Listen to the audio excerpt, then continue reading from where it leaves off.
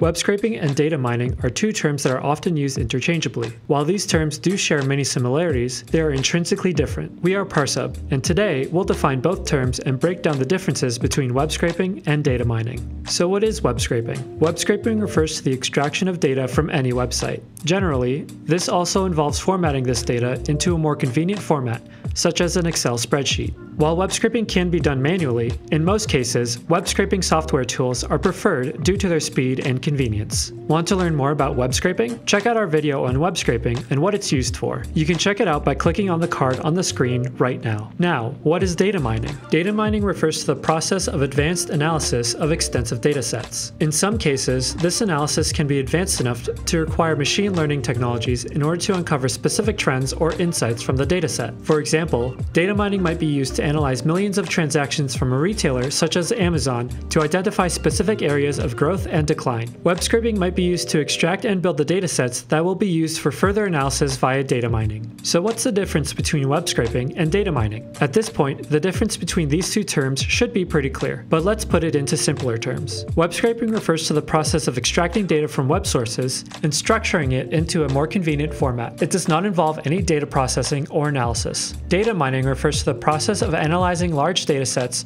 to uncover trends and valuable insights. It does not involve any data gathering or extraction. In fact, web scraping could be used in order to create the datasets to be used in data mining. If you want to learn more about web scraping, check us out at parsehub.com and subscribe to our YouTube channel for more videos on web scraping, data, and the internet.